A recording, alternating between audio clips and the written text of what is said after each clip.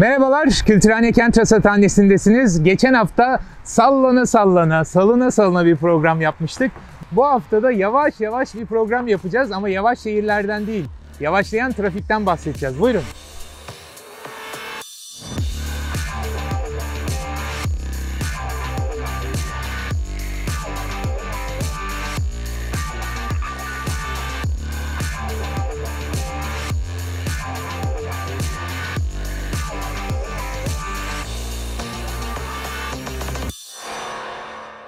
Merhabalar, Kültürhane Kent Rasathanesi'ndesiniz. Ben Ulaş Bayraktar. Her hafta olduğu gibi Friedrich Ebert Stiftung Derneği'nin desteğiyle kentlerde bir tura çıkıyoruz. Artık tanıştığınız, gayet aşina olduğunuz bir mekandayız. Mersin'in güneyindeki sahil yolunda Anlam Menderes Bulvarı'ndayız. Hatırlarsınız hemen yakınlarımızda Kedi Parkı'ndan bahsetmiştik. Artık Kedi Parkı yok ama konuşacağımız mevzular bitmiyor. Bu hafta Büyükşehir Belediyesi'nin yeni bir düzenlemesinden bahsedeceğiz. Siz de görüyorsunuz levhayı.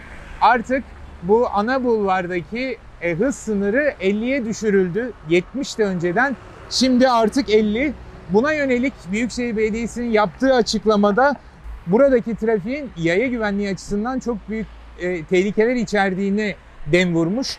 Öyle ki 2015'ten bu yana her yıl ortalama 85 trafik kazası olmuş ve her yılın ortalama yaralı sayısı da 118. 7 yılda 826 yaralı, 7 ölümlü kaza olmuş. Yani aşağı yukarı her yıl bir ölümlü kazaya ne yazık ki burası olay mahalli görevi görüyor. Tabii özellikle pandemide açık hava alışkanlıklarımızın değişmesi ve bu sahil boyunca 8 kilometre boyunca olan çimenlik alanların bizim sosyalleşme, vakit geçirme mekanımıza dönüşmesiyle bu yoldan geçen trafik, yaya trafiği artmış durumda ve Büyükşehir Belediyesi de böyle bir uygulamaya gitti. Viva Mersin'de bunu konuşmuştuk.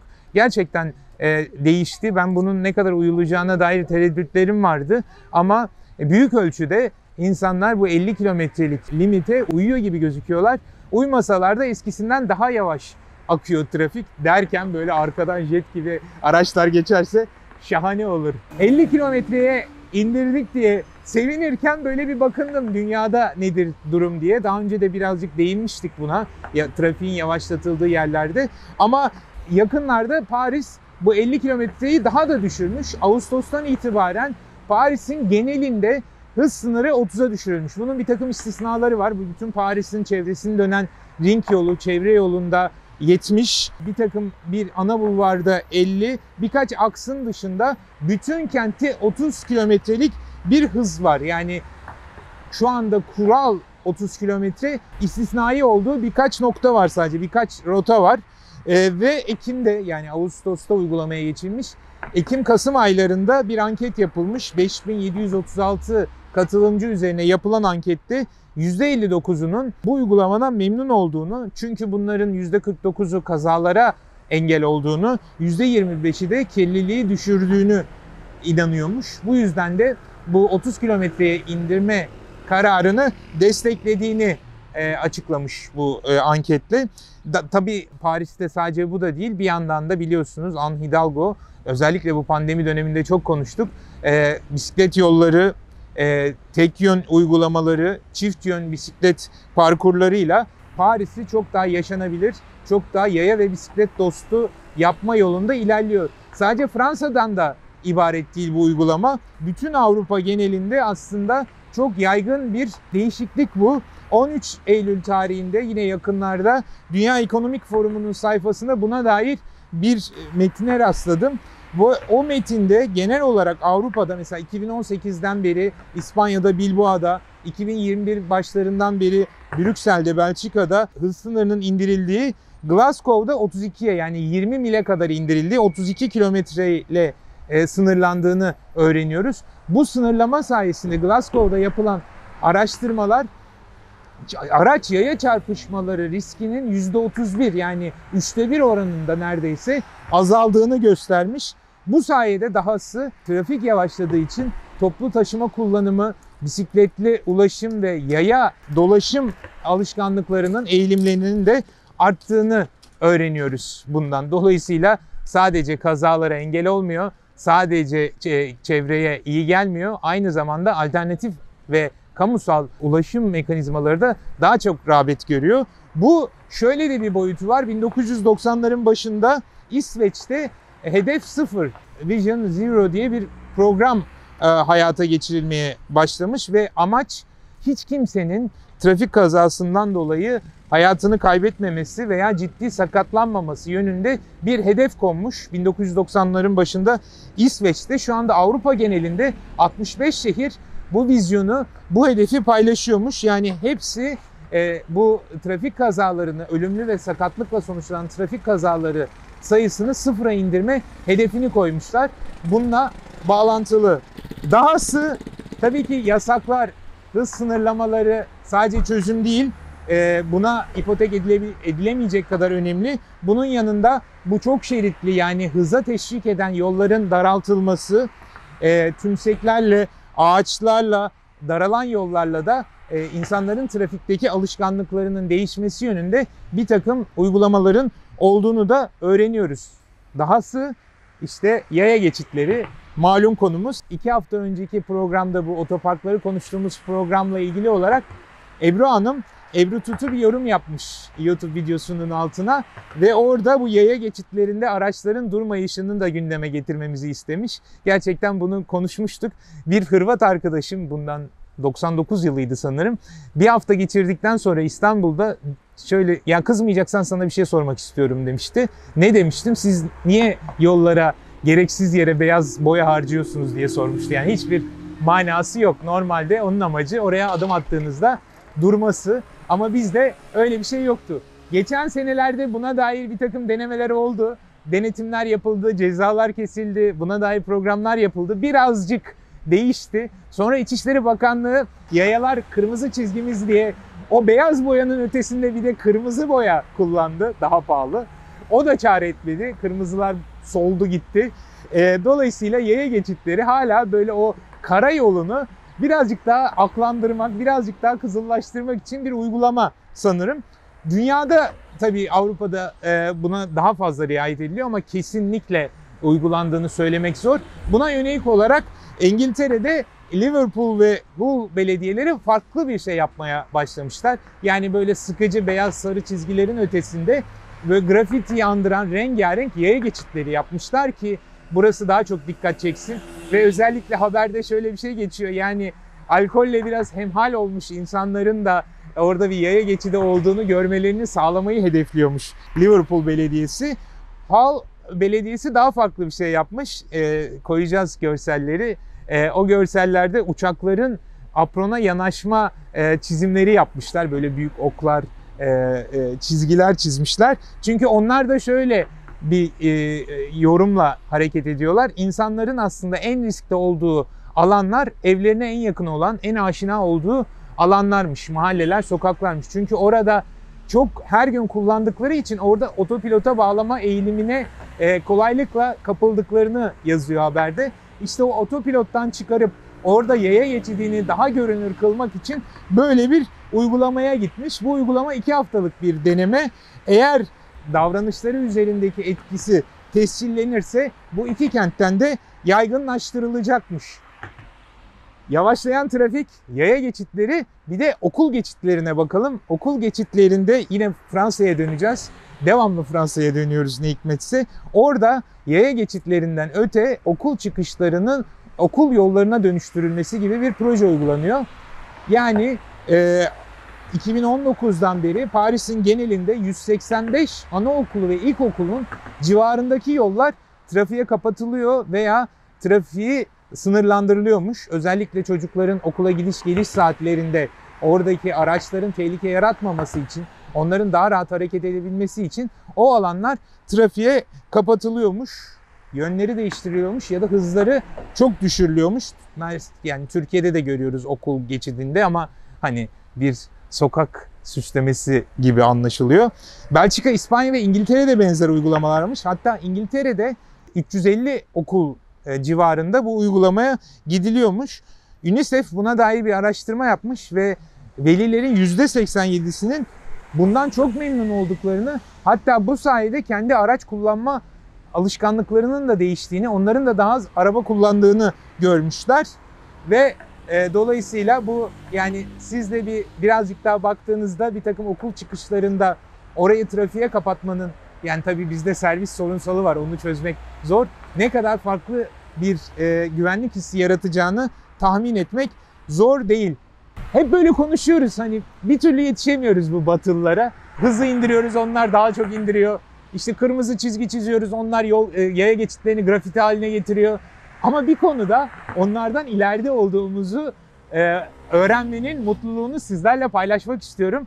Çünkü Kaliforniya'dan ileride olduğumuz bir konu var. Kırmızı ışıkta geçme hakkı, yol ve levhasını takmama hakkı konusunda Kaliforniya'nın bile ilerisindeyiz. Kaliforniya'da böyle bir meclis böyle bir karar almış ve karar yayaların kırmızı ışıkta geçtiklerinde cezaya uğramamasını, yol ver levhasına itibar etmediklerinde e, cezalandırılmamaları için bir düzenleme önermiş meclis. Düzenleme geçmiş. Bundaki amaç da şu, genel olarak bu tür cezaların daha azınlık dezavantajlı grupların aleyhine işlediği, bu cezalardaki dağılımın onların aleyhine olduğuna dair bir saptama var. Bu dengesizliği gidermek ve yayaların trafikteki önceliğini e, tescillemek için böyle bir karar almış. Fakat Kaliforniya ve valisi Nilsson bu kararı veto etmiş. Bu sayede Kaliforniya'dan ileride kalmışız. Onun gerekçesi de şu, zaten yayaların güvenliği konusunda sıkıntılar var, çok kaza oluyor. Bir de böyle bir serbestiyet getirirsek durum daha da vahim olabilir gibi bir gerekçeyle savunmuş e, veto, vetosunu. Böylece de hala eğer Kaliforniya'ya giderseniz yani bir Türkiye alışkanlığı e, olarak kırmızı ışıkta geçerseniz yol vermezseniz hala ceza alma riski taşıdığınızı bilmenizi isteriz. Biz de buna, Türkiye'deki özgürlüğümüzden şükretmeye devam edebiliriz. Ne kırmızı ışık, ne yaya geçidi, ne kaldırım, ne otopark hiçbirinin e, kısıtlamadan olmadan özgürce yaşamaya devam ediyoruz. Sadece yayalar değil bu özgürlükten e, araçlar da faydalanıyor. Her türlü hareket eden alet faydalanabiliyor. Dolayısıyla gerçekten de belki de bir özgürlükler ülkesinde yaşıyoruz. Bir başka özgürlükte istediğiniz gibi mesela e, günün herhangi bir saatinde ama mümkünse gece geç saatlerde şu tür seslerle e, komşularınıza müzik ses şöleni çekebiliyorsunuz. Bunu motorunuzla, egzozunuzla, lastiğinizle, modifiye aracınızla özgürce yapabiliyorsunuz. Bundan mahrum olan, mahrum olmaya yakın başka bir e, haber duydum yine Fransa'dan. Fransa'da gürültü radarları konmaya başlanmış. Daha doğrusu deneme aşamasında o da. E, bu da enteresan değil mi? Yani bir yasağı koymadan önce bir birkaç ay deniyorlar ve o sonuca göre bunu yaygınlaştırıyorlar veya resmileştiriyorlar. Bu gürültü radarları belli noktalarda gürültünün arttığı, o desibelin arttığı e, araçları teşhis ediyor, kaynağı görüyor ve sonra da fotoğrafını çekip hız sınırını aşmış gibi cezalandırabiliyor. Böylece zaten Fransa'da meğersem ben bilmiyordum ruhsatta izin verilen desibelle yazıyormuş. Eğer o aracın özellikle motosikletlerin o desibelin üstünde bir gürültüye sebep olduğu bu şekilde belgelenirse siz daha hızlı gitmiş gibi gürültü yaptığınız için de e, ceza görüyorsunuz. Dediğim gibi bu şu anda Fransa'da 8 belediyede deneme aşamasında. Eğer başarılı olursa bu sistem 2022 yılında bütün Fransa'da hayata geçirilmesi ve cezaların resmileşmesi söz konusu. Dolayısıyla bir de hani Kaliforniya'ya gidenleri uyardık ya bir de Fransa'ya gitmeyi düşünen motorcuları ve modifiye araç sahiplerini de uyaralım. 2022'ye kadar gittiniz gittiniz.